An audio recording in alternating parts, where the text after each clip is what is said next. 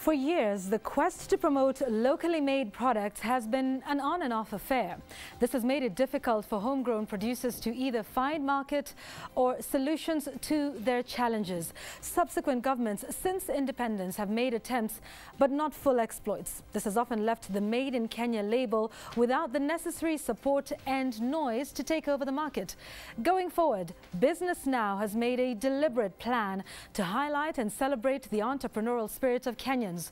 We shall, from today, in every episode, showcase Kenyan manufacturers doing the most, surmounting challenges to remain steadfast in their quest to promote locally made products. We're counting on you, our viewer, to help us in this rallying call for Made in Kenya. Good afternoon, I'm Yvonne Okwara Matole and this is Business Now, the show that celebrates Kenya's entrepreneurial spirit. But first, here are the highlights. On the show today, we highlight what it takes to make it locally as a manufacturer. What challenges exist for local manufacturers and how do they navigate them? And we premiere our new segment, Made in Kenya, where we feature local manufacturers espousing Kenya's entrepreneurial spirit.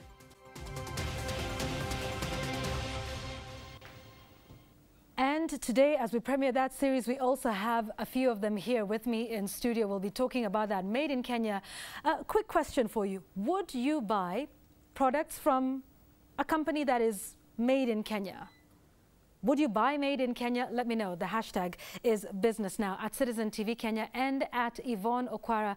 I'll tell you who my guests are in a moment. But first, let's take a quick look now at stories that are making headlines this afternoon.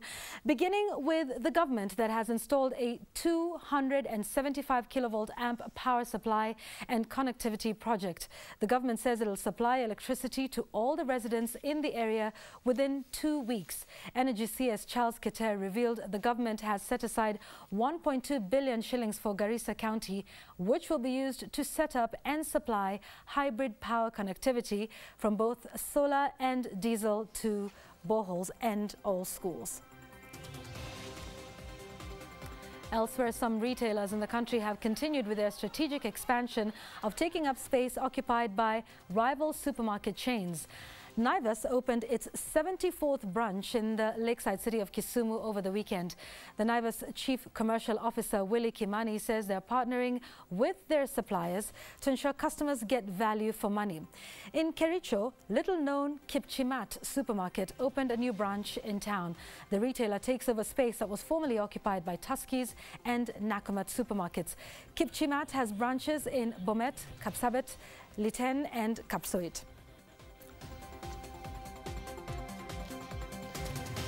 And finally, Tourism and Wildlife Cabinet Secretary Najib Balala has challenged the government to invest more resources to the Kenya Wildlife Service to make it more efficient in its conservation activity. Balala says the agency had a backlog of more than 14 billion shillings compensation claims yet to be honored to victims of human-wildlife conflict. He spoke during the launch of the KWS strategic plan for 2021 to 2024.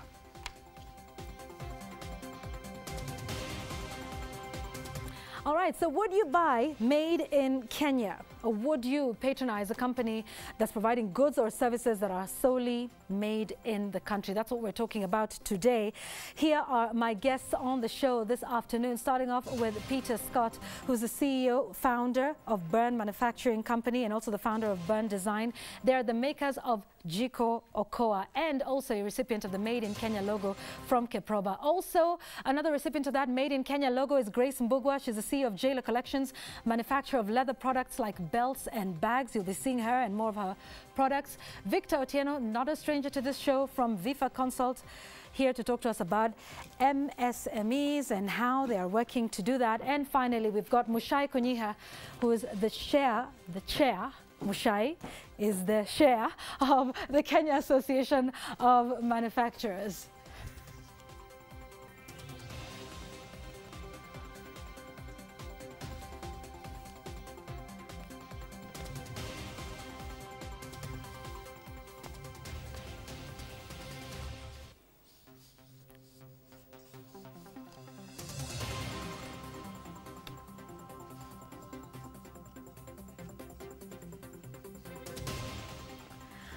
All right, so it is time for the five today. Now, the Buy Kenya, Build Kenya initiative was developed in 2017 by the Ministry of Industrialization, Trade and Enterprise Development following a presidential directive. Now, it's all about boosting the local manufacturing sector um, by authenticating goods and services that originate from the country. But it came at a time when Kenyan-made products were associated with poor quality. The companies had low skill levels. And so the Kenya Export Promotion and Branding Agency developed the Made in Kenya initiative. Now, it is a process that results in a Made in Kenya mark or a made in Kenya seal and it's given to companies whose products or services are of course solely uh, made in the country or at least in a great part. Now of course this is to give consumers the assurance of quality and authentication of the true Kenyan identity. But not just anyone can put this mark on their products. There is a criteria provided. Now, I know typically here, this segment is called the five, but allow me to break the rules today because I want to give you that criteria. And there are six in number. Let's, of course, start off with the very first one, which is all about location. Now, this is the first one here. Now, with respect to location, the companies must be located in Kenya. Now, as for employment, the Kenyan employees in that company seeking this logo must be the majority. That is at least 50%. Also, the company seeking this certification uh, must be compliant with statutory requirements like tax compliance, registration certificates. Now, the companies should not be insolvent and should not have been debarred from public procurement. The companies must also be certified. They must bear the mark of the Kenya Bureau of Standards or any other recognized certifications that are specific to their industry. Now, here's another one on product design, which must must be wholly or partially mined or produced in Kenya. And finally, the sixth criteria is that the country of origin of each significant component of the goods that are produced must be Kenyan, as outlined in the EAC Customs Union Rules of Origin. Now, what are the benefits of the mark, you may ask? With this seal, your company can benefit from the preferential procurement by government agencies in line with Section 155 of the Public Procurement and Asset Disposal Act that states that 40% of the public procurement budget by ministries and state departments be reserved for locally produced goods and services.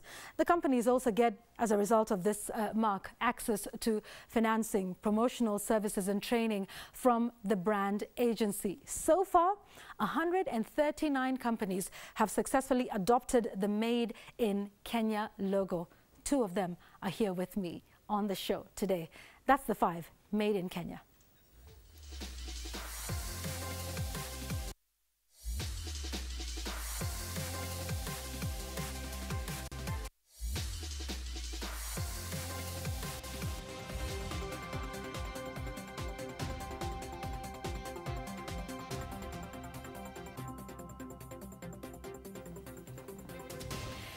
The hashtag is business now. This is our Made in Kenya series. We're kicking it off today. Don't forget, we're focusing on another business and we'll be showing you that story in a moment or at least a little later on on the show.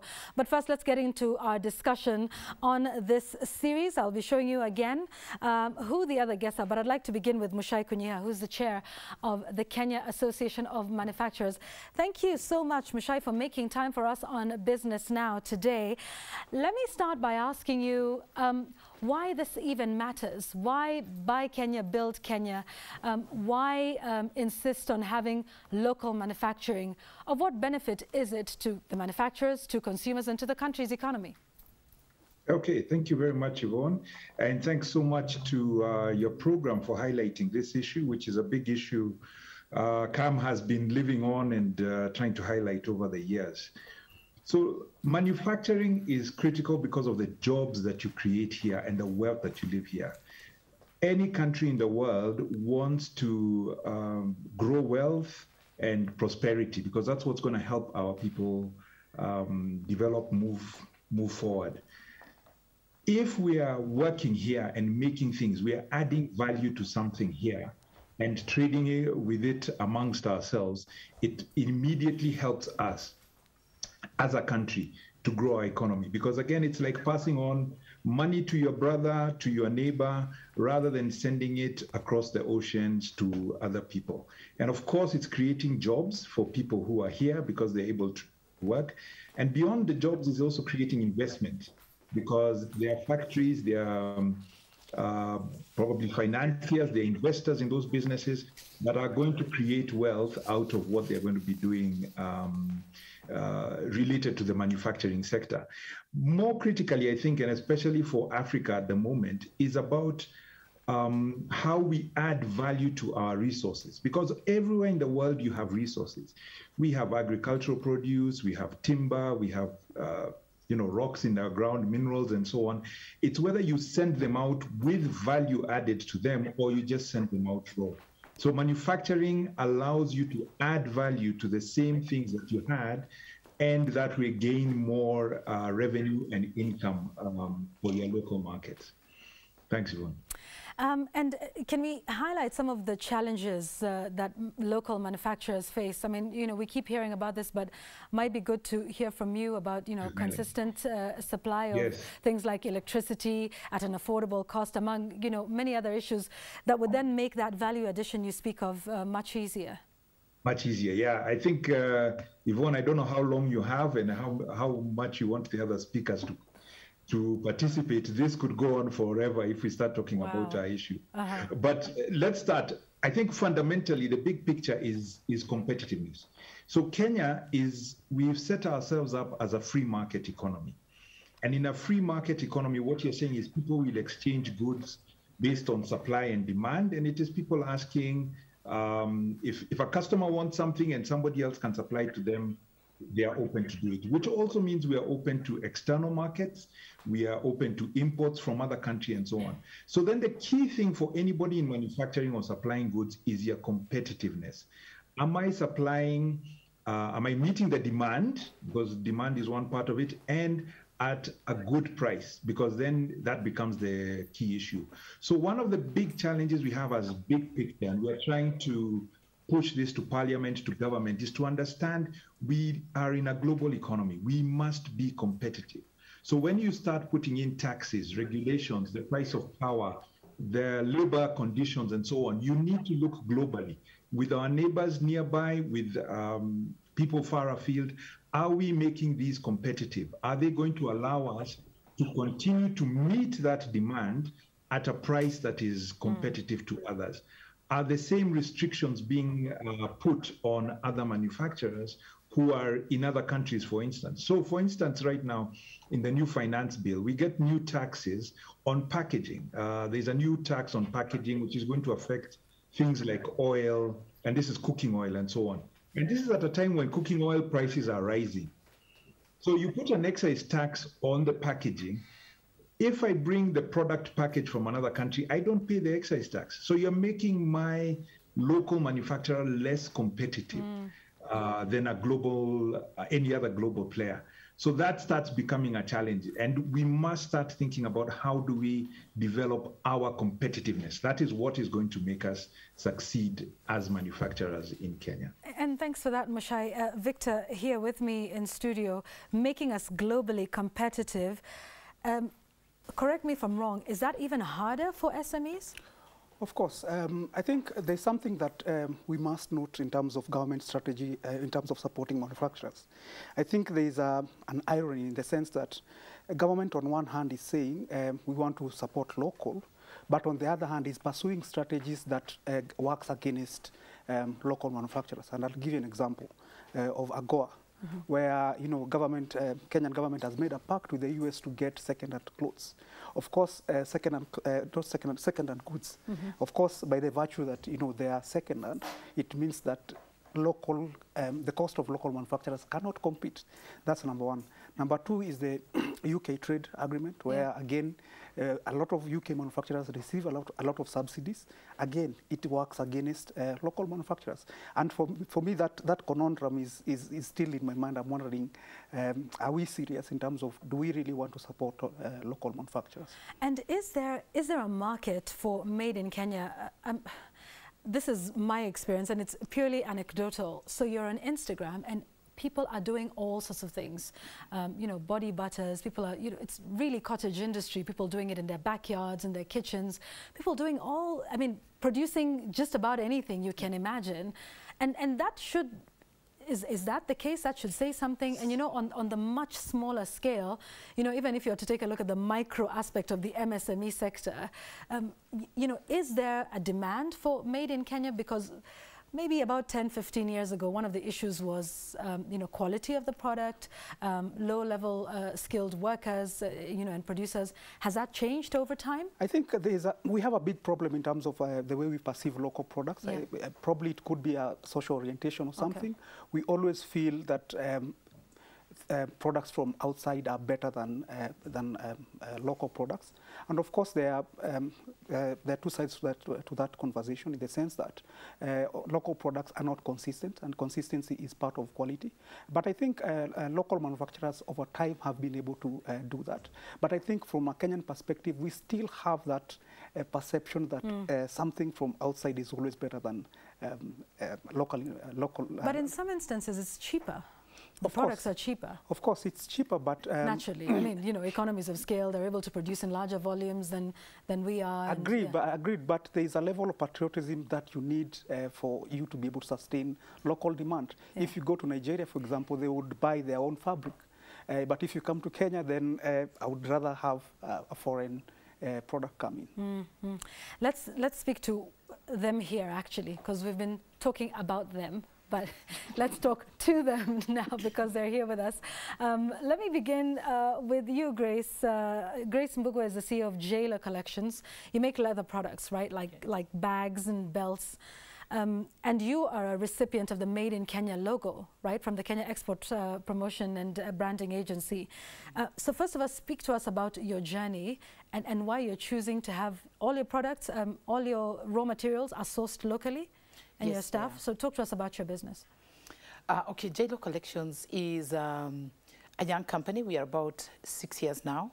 And our agenda is to provide that quality product he's talking about. Mm -hmm. That if you go to our shop, you'll find that leather quality product, leather bag, leather accessories, and they're well done. um, we, I'm excited to say that being a Kenyan, I would love to see the skills I'm also utilizing are for another Kenyan who is also providing for us the accessories and mm -hmm. the items that we require. So we make um, the leather from our tanneries. We buy the leather from all local tanneries. Um, you request what you want and you make your order and you get the quality. Okay. That I can affirm to you. Uh, I still think that there's a lot of learning, especially for certain um, types of leather, like for clothing, it's still not yet mm -hmm. um, being done. So there's still room for expansion. So sourcing locally has, has uh, worked very well for us.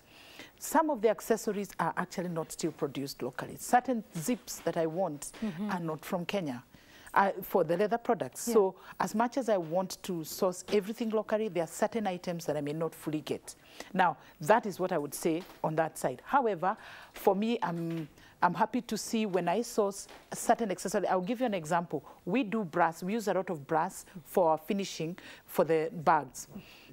I will get it from uh, groups in Logai or Kibera. They actually make very fine, good quality finishes. So I don't need to buy from anybody else. So as much as the countries go on to, uh, to provide us with certain items, our Kenyan companies are able to, to provide with us items that we still need. Okay. Uh, let me ask about the cost. Mm -hmm. um, you know, leather is, when you buy a leather product, you know it's going to cost, uh, you know, different from something that's not leather or plastic, if, mm. if you like. Is it, is it cheaper for you to, would it be cheaper for you to source some of your products or a good number of them from abroad?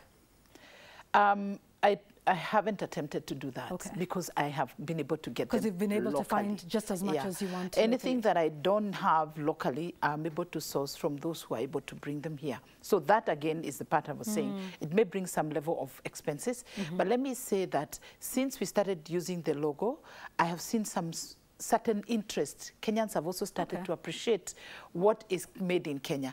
It has the challenges. He said that we still need to do a lot of publicity, yeah. education, and uh -huh. value, and, and the changing the perception that our products are not necessarily good. Yeah. But if you go out, out of the country, you'll find made in Kenya products Uh-huh. But they're out there because export market appreci uh, appreciates uh-huh. Our products. Okay. So locally, Sadly. it's work to be done. Okay, yeah, and, and, and that's an interesting thing about how, uh, you know, the Made in Kenya logo perhaps is more beneficial you know, in the export market than it is in, in, in the local market. And we'll come back and talk a little bit more about the benefits that you have seen um, with that Made in Kenya logo, you know, in as far as uh, pushing your business. But some interesting insights on, on what you're doing and how you're able to source, you know, quite a bit of this material that is good quality and high quality locally. Um, Peter, you're with Burn Manufacturing. Now, when people say Burn Manufacturing, what's that? But when they say Jikokoa, then, you know, we sort of have an idea. Talk to us about uh, the journey and and why why you chose um, you know these products and, and, and yeah. Yeah, well, I'm a huge proponent of local manufacturing, and we've really built our business around local manufacturing. So we started in 2013, um, and we, our focus was to design the world's most fuel-efficient uh, makaa stove and wood stove, and then make those locally here in Kenya. And so we, currently, we know we employ 400 people. We've made and sold over 1.1 million Jikos. Those have all been made here in Ruiru. All of the R&D is here, all the manufacturing uh, is here. So that uh, it's interesting, when we first launched, we really promoted that the stove was designed in the USA, and we were kind of silent on where the stove was made because there was this idea of like maybe a local product was going to be low quality. Mm -hmm. But now when we do our market research, because people know Jikokoa and they love Jikokoa and they love the fact that it's manufactured locally, and we find that like 70, 80% of our customers want to buy it because, and so now we're actually promoting that it's made locally, whereas in the past, we kind of were, were silent on it. I think there's really a revolution happening uh, in Kenya right now in terms of manufacturing. We can beat the Chinese on price, performance, durability, all of those things. And um, yeah, it's, there's still this idea of like, oh, it's made in Kenya, it's probably not as good as somewhere else. But really, we've built the world's most successful clean cook stove company and there's, there's nothing else like it in the world of what we're doing here. And the center of cook stove research and manufacturing is now in Kenya. Mm. Mm. What was um, the process like getting the Made in Kenya logo? Um, you know, we just listed the criteria at the start of the show. But you know, was that a hectic process? Was it tedious? Was it you know? Take us through um, that and why you sought that. Uh, yeah, it actually was actually not a very difficult process because we had already checked all of those boxes. If mm. we hadn't, it might have been more difficult. Yeah. You know, it's interesting. There's like a to get the certificate of origin, you need to show 35% value add. But uh, you know, for us, we've not just done assembly, but full manufacturing. So we're not just taking parts made in China or Turkey or something and assembling. Mm. We're doing the full like raw materials in, finished goods out. So it was very easy for us to meet this 40% criteria certificate of origin. Um, yeah, and it's you know it's interesting. It's been it's been a very it's been a great positive for us. And even when we sell stoves to say like uh, Somalia or uh, the Horn of Africa, is that you know we've actually when we first started making a stove and selling it to Somalia, we did change the packaging to make it look more Somali. But people said, no, no, that's probably a knockoff. We want the Kenya original. Right. So the, the our like some cool Somali packaging sells for less than our oh, authentic oh, original packaging. Okay. So people really see this as like, oh, we know now globally, yeah. Burn Jikokoa makes the best stove in the world. We want the original. We want to be certain it's made in Kenya. And so the Made in Kenya, brand Kenya logo is, is, really key for that. Okay, yeah. all right. And, and, we'll, we'll come back to that. I don't know if uh, Muchai is still uh, with us here. Um, Muchai, on a larger scale, perhaps uh, quite a few of those issues that we've talked about, uh, you know, taxes, but I wonder what this means for the MSME uh, sector, you know, the really smaller businesses that are, you know, working out of their kitchens, working out of their backyards. What, what, what is manufacturing like for them? And, you know, are there any challenges that are specific to them than those who are perhaps in, um, in the larger sector? Yes, thanks. Um, Yvonne, sorry, my, my internet dropped off uh, temporarily. Um, but I think that the regulatory environment is a big challenge, um, both for large and small uh, players. And it's worse for the small player because in a larger player, if you take some of the larger manufacturing, they actually have a department that deals with this corporate affairs, regulatory, they have quality people. So they have enough people. But if you're a small operator, you find the, the entrepreneur, the uh, founder of the business is trying to do all of this work at the same time. And that can be quite challenging for them um, when they have too many rules to follow up. So, like last week, we had a boot camp for um, the different entrepreneurs, trying to tell them uh, and show them the way on how to deal with different regulators um, along the supply chain what we advocate for, we do need regulation. So let's not say we don't need regulation at all. It ensures there's quality, it ensures there's consistency and some uh, level playing field, as well as protecting consumers so they know what they're getting. But how you implement those rules, how easy it is to follow the rules, is what is the challenge. And it's usually also a problem when they keep changing them um, and making them um, not user friendly. So, for instance, you'll be asked to go to KEBS, produce certain documents, and keep going back, and perhaps you have to take them manually. Um, some of these regulators are now going online, which mm. makes it much easier for people to comply. And perhaps also how we set those standards and the requirements, we can make it much easier for the MSMEs and the SMEs to, to get um, qualified. KRA is another um, example where actually among the local regulators, we see they've moved the most. With things like iTax and so on, you're able to deal with most of your taxation issues um, online, but it's not all of them, and there are still challenges that would would um, affect any person. Where we have the biggest challenge, I think, is where the counties come in, yeah. because the counties have so many uh, regulations changing and less developed systems on how you're going to be able to address um, those regulators. In addition, now we are getting more and more new regulators, like in agriculture now, we've gotten some uh, new regulations on, on produce recently and asking you to pay uh, taxes. That again means if you're a small player, you have to go all the way, find where the AFA office are, try and get all these forms and uh, fill in new regulations and so on. And that is a real burden for a lot of producers. Mm. Indeed, uh, Muchai, uh, somebody here agrees with you on Twitter.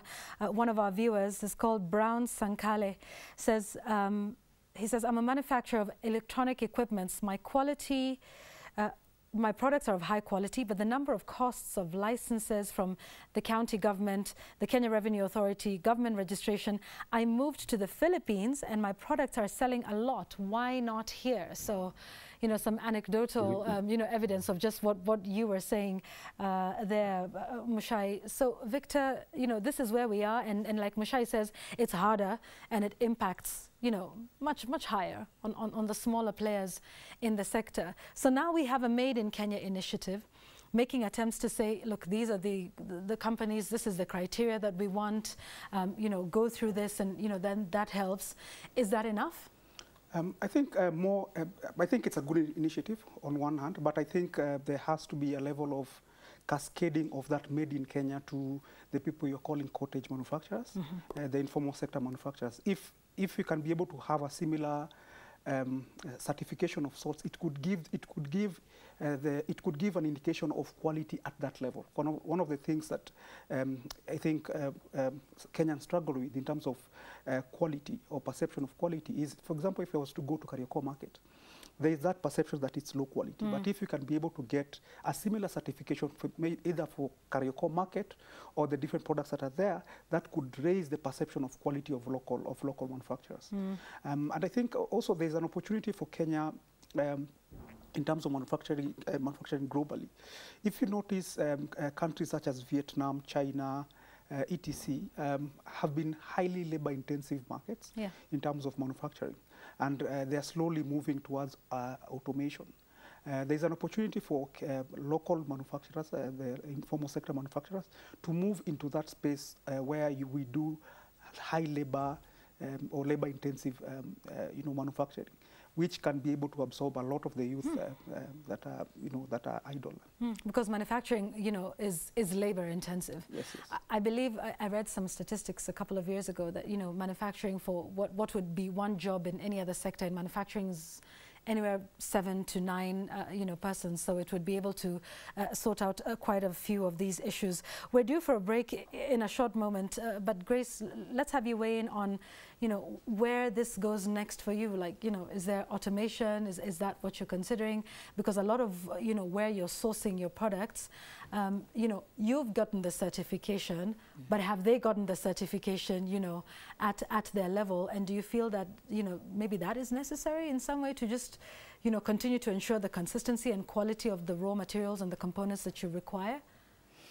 Uh, for us, one, one thing that I would say that I appreciate is the trainings that goes with this uh, mm. certification. Yeah.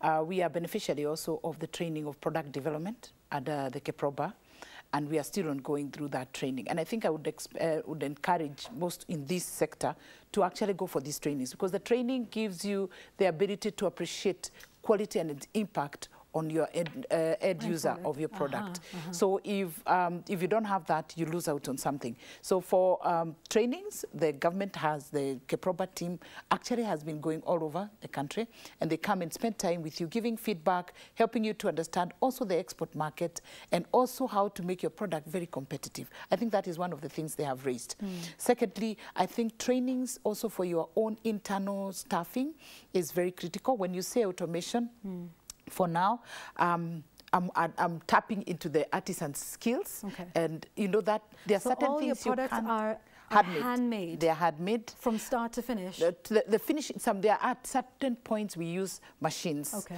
for finishing, but everything else is handmade. Uh -huh. So you see, that's a skill and gives opportunities for employment for the young people. And also the trainings that we do, especially for leather, because it's not just produced that way. And I think maybe on the area that he mentioned on Kariokor market, I think for me would be to intensify on trainings, yeah. to upgrade on where they are, because creativity is so much in that in their products. But sometimes along the way, and the quick, you know, you want to quickly yeah. finish, and also because of turnaround, the numbers and everything, it, you lose out on quality. Mm. So for me, I think the, the trainings in investing on them would be critical. And also, again, when it comes to um, increasing the number who have the, the, what the, the, the mark, I think trainings and also understanding what is it that you need. And because for us, we also got the, the, the exposure of all these other agencies through one meeting yeah. by the government, organized to meet the KEBS, the KIPI, and, and the tax people. We all met there and to understand what is it that I require for me to get the certifications for each of those sections. Okay. Um, before we take that break, if you were to how many people do you employ at, at, at JLO Collections? How big is, is your organization? And if you were to take a look at the value chain, across the value chain, how many people do you think, I don't know if you're able to quantify or estimate mm. at least, you know, from the persons who give you the brass to mm. the, you know, the leather tanneries where, where you go to, what do you think is the impact, social impact of, of your company? Um, the social impact, I may not give you the numbers mm. of in terms of what, but I can tell you, okay, the staff, we are 28. And then you also have the other ones that you have from outside, yeah. whom you engage for So besides the ones labor, who make the brass? The, there's else? the ones who make the brass. Bidding, we okay. do a lot of bidding. Yeah. So we, but we use um, Maasai women from Ngong mm -hmm. and others from Isinya area. So you give them the materials, they actually produce for you, and you work with them on the design and the quality. They actually do what you require. Mm -hmm. So I have those the, the, those groups. Then I also say um, we buy uh, our, our fabric from the it's called Thika mills. Mm -hmm. Thika mills makes and they can pattern for you. They can make the the colors that you want, yeah. and they give you the products that you require. So that is also somewhere else that you are also sourcing from. Okay. Yeah. So at the, at the end of it all, you are impacting different sectors. Mm. But I must say that our immediate impact is also for the communities. We engage when we have big orders because we do um, materials for like corporates when they have uh, they need items. Yeah. So we engage communities. We've trained some women in their, they are in organized groups. They each come together in one congregated uh -huh. place. They come with their machines. We train them and they produce for us what, what we require. Want. Okay, all right. Um, I haven't forgotten about you, Peter. I just need to take a break.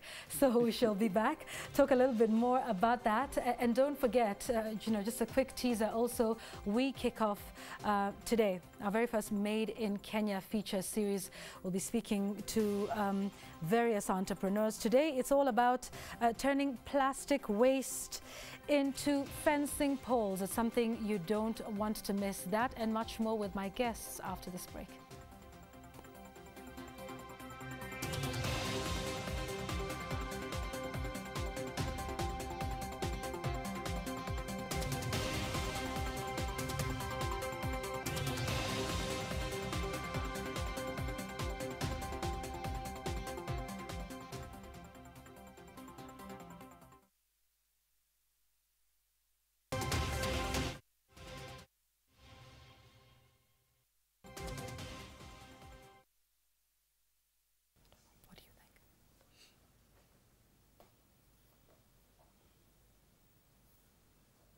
Yeah, because there will be days, remember, when the topic isn't made in Kenya.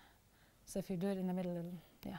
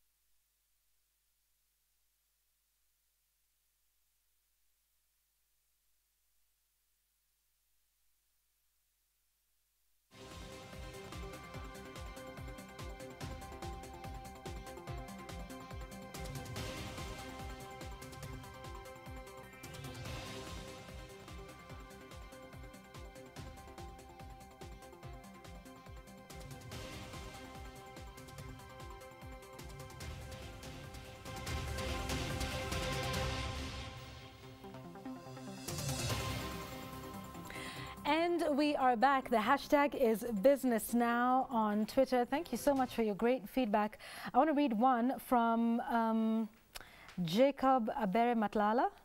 You say um, made in Kenya on production and market is achievable. What slows it down are patent time, foreign product mentality, which we've talked about here, lack of strong policies in helping infant industries like funding, research and market search as China does for its people. And again, to maximize made in Kenya product use, we need to give subsidies, infrastructure developments, free electricity, I'm not sure about the free part, and cultivates self-product ambassadors like His Excellency, the President, with the cotton brand shirts from Rivertex and the Korogocho Ankaras that are sold in Canada. Keep your thoughts coming. Many of you saying, yes, you would, in fact, um, buy Kenya, build Kenya. That's uh, the rallying call since 2017, I believe, uh, when this was, you know, finally now, you know, made a little bit more formal than it has been in previous years. So, uh, Peter, with the uh, Jikokoa, talk to us about, you know, the social impact of of what you do. So, in terms of, you know, how many, what the workforce size is, but then also just, you know, across the value chain. Sure, of course, yeah. So as I mentioned, we've sold about 1.15 million of those stoves, and they've really made a transformative impact. Uh, a recent study by UC Berkeley showed that each household was saving about 12,000 shillings, that the total net benefit to society was 1,000 USD over three years from reduction in health costs, greenhouse gases, and fuel savings. So it really has been a transformational product on the planet. Like when you look at what's happening in Africa right now, there's 1.1 billion people. By 2050, it'll be 2 billion people. 1.6 billion of those people are still going to be using wood and mm. charcoal. It's an economic catastrophe. It's an ecological catastrophe. It's like a health catastrophe. So Kenya has the ability to actually transform the whole continent by building super fuel efficient stoves here. So the government really needs to think about a long play, like how do we win? Now with the Africa Free Trade Agreement coming into effect, Kenya can absolutely win. So we're negotiating deals now to do, you know, tens of millions of stoves across the continent that will help people, you know, save lives and forests and all those things if we create the right enabling environment. So I think we Kenya Gov has done a good job, but certain things like they put VAT back on clean cooking, which is mm. crazy because it's absolutely not a pro-poor policy. You know, the people that are burning three stone fires are the ones that are suffering from pulmonary issues. So we designed the world's most fuel efficient household wood stove that reduces emissions by 80%. Now you're putting a VAT on that. It's absolutely not helping helping the poor. So we're hoping, you know, the government's done. We've worked with the government closely and with KAM, but we're really hoping that they'll think about this long play. It's not just for helping people, but also it's the ability for economic transformation. Okay, so, I want to, yeah. because I'm still with you, um, to get your closing comments uh, on, you know, made in Kenya. Do Kenyans care? Uh, your experience with, with, with your products. Do Kenyans care about? Buying products that they think are authentically made in Kenya and that have that identity. You know, we're just laughing during the break about, uh, you know, what you'd said earlier, that, you know, you take the products to Somalia and you try to sort of localize them and they're like, no, yeah. uh, you know, get us the original product. We know what it looks like, and this is not it, and it's fine that it's made in Kenya, and you know they Right. were willing to buy that. Um, maybe locally versus uh, you know foreign, because you know Grace mentioned the fact that you know made in Kenya is is big business Yeah. in terms of export. Is it as as, as recognizable and more appreciated here as well? once you've proven the quality, Yeah. people love that it's Kenyan made. But I think that until people are really um, certain that, that the quality is there, and so the after sales there, and the warranty is there, and all of those things. So people know when you buy a product from China, eh, the warranty maybe is going to be like, you know, you're going to call Shenzhen and ask them to replace your product. So because Burn is local and will service the warranty, and there's warranty centers and all those things, that people love that. And like our staff love it. So, you know, we have people who've been with me for eight years who love the fact that we're doing this mission driven business and we're producing this very high quality product. You know, it's like it's like 99.97 right first time production coming out of our factory. The idea that you can't make quality in Kenya is insane and antiquated and from a different century. So um, yeah, as long as you've got you're delivering quality, people seem to love the Kenya symbol. Ah, absolutely. Grace, your final thoughts. Uh, on my side, I yes, I have seen that because we have a shop at the Hub, Karen, and uh, one of the things that I've noticed people ask, are you sure these are made in Kenya? Because I want to buy if they're made from Kenya. So I've gotten that feedback. It's an African themed shop. We sell everything made in Kenya and made by uh, SMEs because we put together our efforts. And one thing that I ma- I've, I've noticed and I can tell you is as much as we continue putting that face, and this is mentioned, the president wearing the shirt, Yeah. that, that also has He's the biggest brand ambassador for Yes. and yeah, influencer, social media, if you like. Maybe not intentionally, but yeah.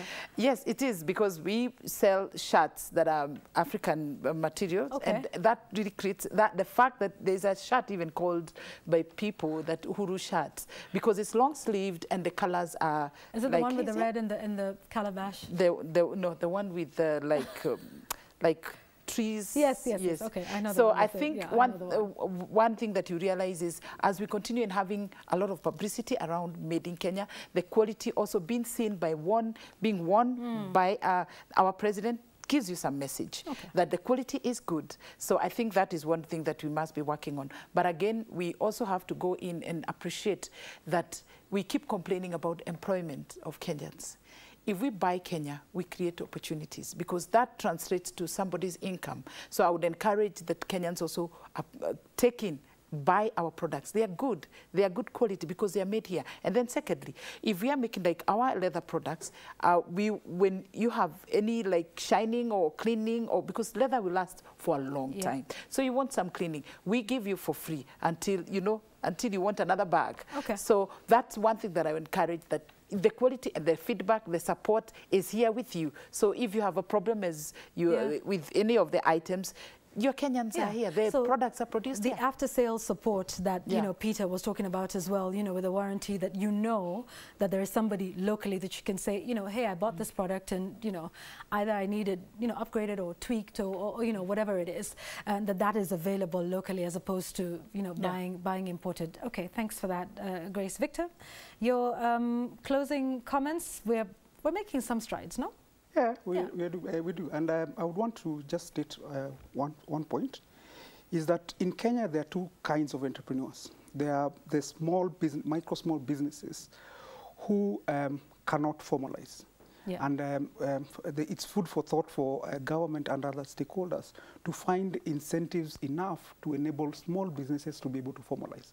Because there are, of course, benefits to uh, being formal in the sense that you can be able to um, access bigger markets uh, in the EAC, etc. But there are also entrepreneurs who want to formalize but lack information.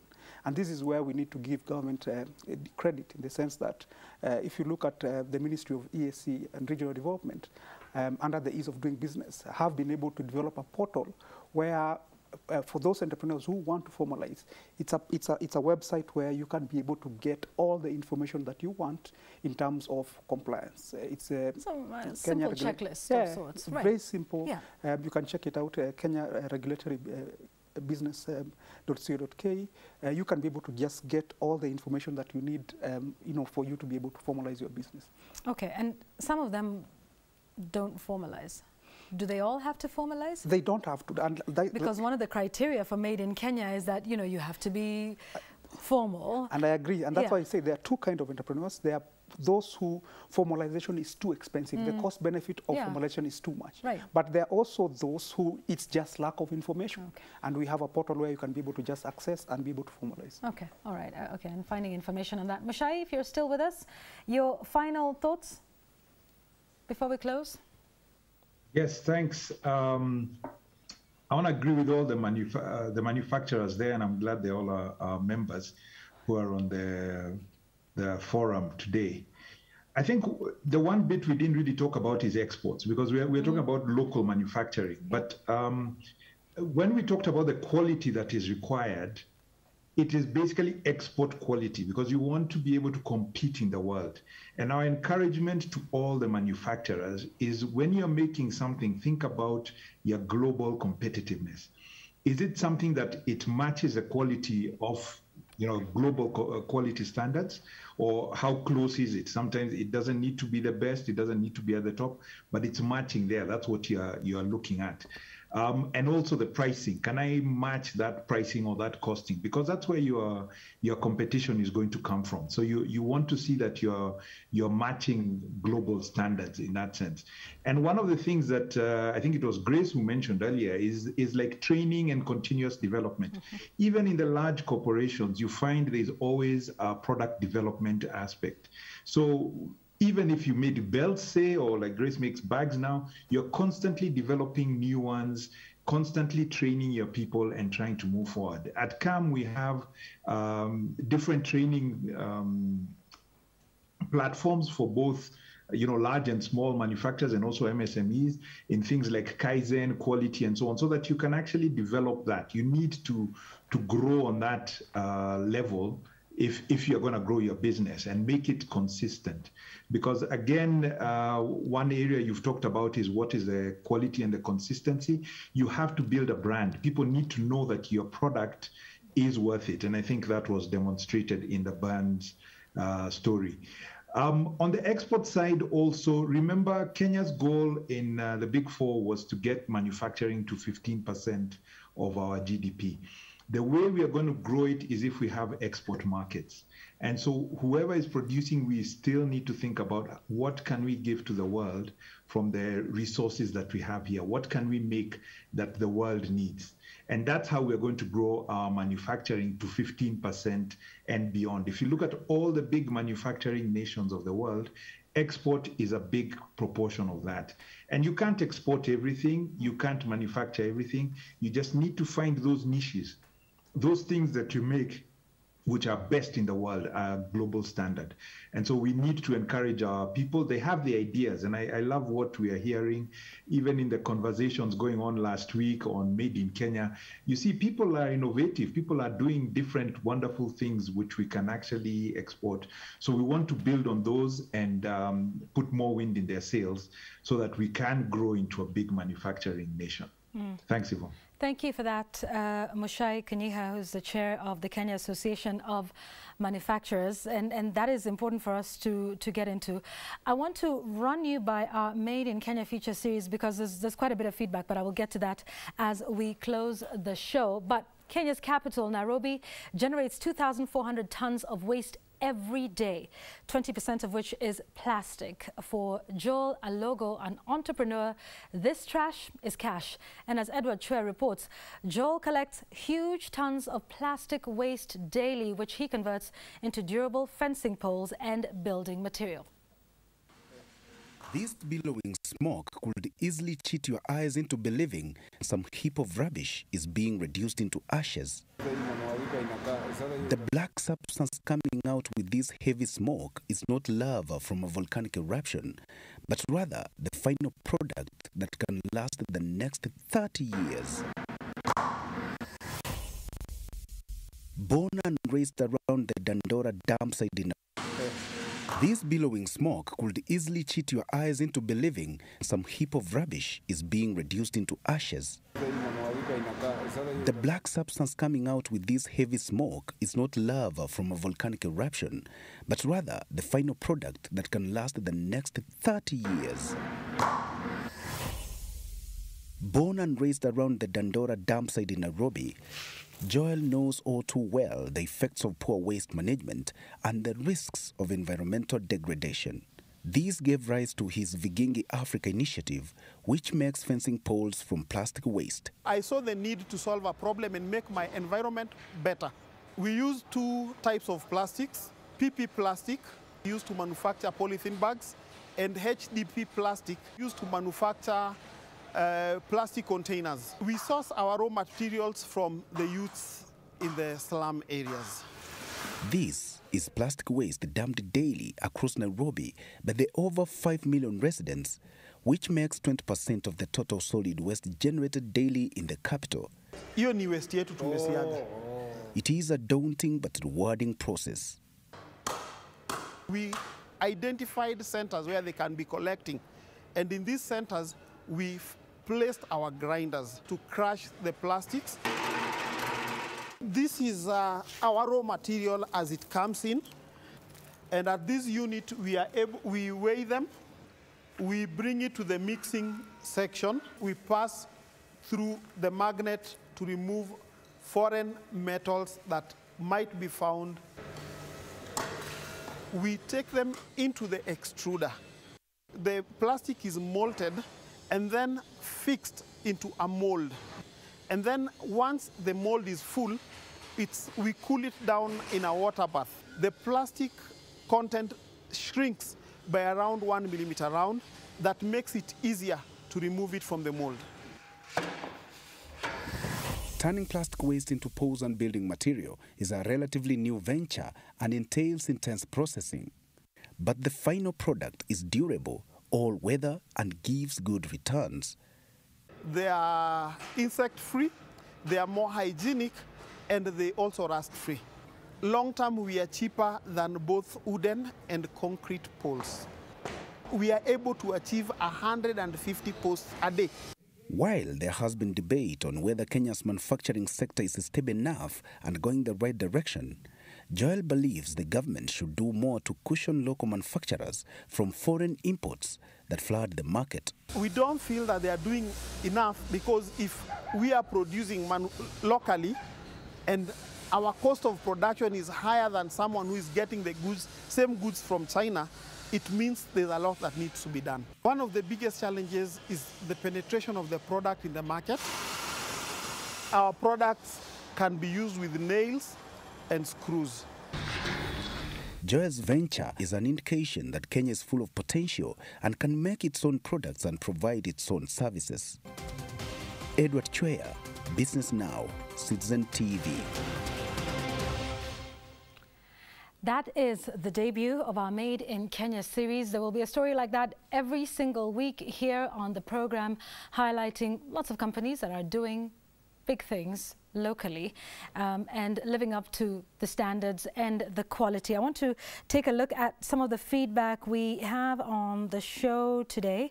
Um, Peter Kariuki says, I would be so proud to buy made in Kenya. However, corruption that goes all the way to certification makes it so difficult to ascertain quality. Looking forward to hearing how this concern is being addressed. Well, not very specific about it, but you know, hey.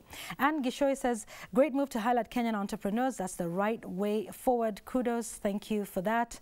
And um, this is a tweet that I should actually read because I, you know, I resonate with this very well. It's from Burn Manufacturing. Uh, you say we boast of having one of the highest female employment rates at 60% at our manufacturing plant in Ruiru, Kenya. So um, what we're talking about, you know, labor intensive and, and doing that particularly with female employment. So good stuff with that one. And then um, uh, here's um, another one. These are uh, quite a few tweets uh, from the Kenya Association of Manufacturers as well. I've already read uh, Brian's issue. Here's another one from Zangi Granola, I imagine. Uh, you say getting a startup premise that's convenient and affordable for startups in Kenya is an uphill task. Getting local manufacturers for standard packaging, there is none. You have to import from China. Is that so? Packaging? That's interesting. Okay, yeah. Where is the government in support of startups? Um, Morris says, yes, that's the best way to promote authentic Kenyan brands and products.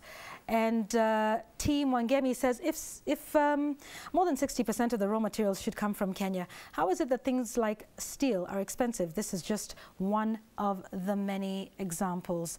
And Ronald Eli Wanda says, I always buy local. It is the best way to safeguard our local industrial development, except for wines. Okay. All right. Yeah. And by the way, there's there's some good, and, and, this is not promotion because I'm not mentioning any brands, but there's some very good wineries in Meru, of all places, right next to the Meru National Park. Um, Here's one last one. Let me read this one for you. At Nyakwar says, some of the universities like the Jomo Kenyatta University of Agriculture and Technology, my alma mater, are producing many products like mushrooms, honey. Can't they produce them on a large scale and sell them in supermarkets and for export abroad as well. So thank you. So some great feedback on that there.